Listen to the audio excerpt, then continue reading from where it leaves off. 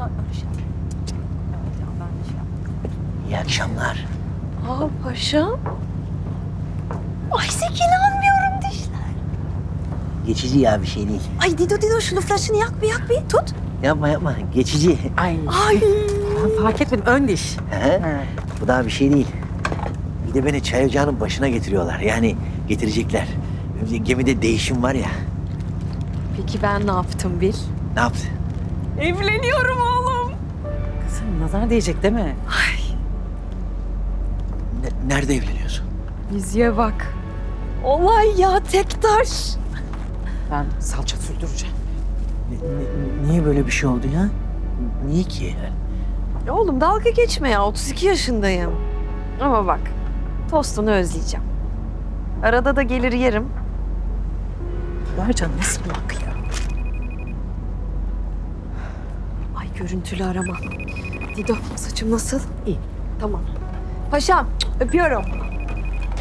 Ne- neden böyle bir şey oldu? Ni- niye yani?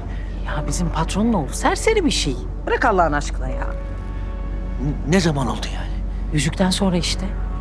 Yüzük mü? Ne yüzüğü ya? Ya yüzüğe kim dayanır? Tontiş. Hadi görüşürüz. Birader alıver şunları. Onlar kalabilir. Artistik yapma.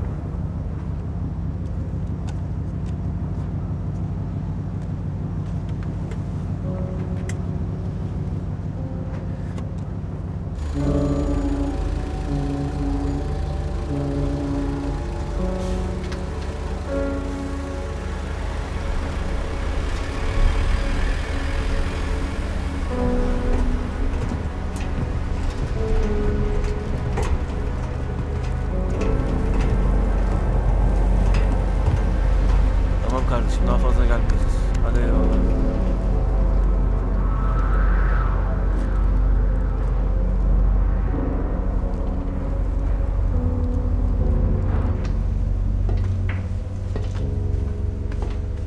Salih abi.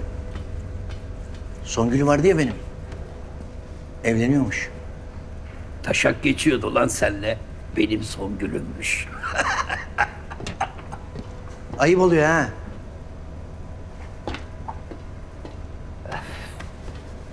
Bakıyorum da kötü bir şey olduğu zaman herkes akıl veriyor. Ders veriyor. İyi bir şey olduğu zaman da aferin Isaac diyen yok. Kız taşak geçiyormuş. Nereden biliyorsun taşak geçtiğini? Paramızı çalıyorlar, akıl veriyorsunuz. Manita gidiyor, akıl veriyorsunuz. Kötü bir şey olduğu zaman da aman Isaac akıllı ol, Isaac akıllı ol. Ah, buradaymış. Bugün beni büfenin başına getirdiler Hacı abi. Sen ne anlatıyorsun? Hadi buna da akıl versene. Ver, veremezsin tabii. Padişah yapsalar sikimde değil.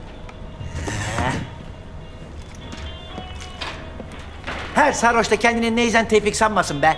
Böyle tepeden tepeden konuşmalar. Sarhoş babandır. Ben sarhoş değilim. Alkollüyüm.